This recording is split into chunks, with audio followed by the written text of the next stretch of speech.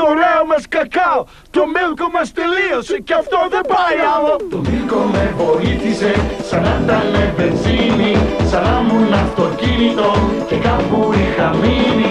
Η γεύση του σαν πύραυλο, με έστειλε στον Άρη, στο γύρισμο σταμάτησα για μίλκο στο φεγγάρι.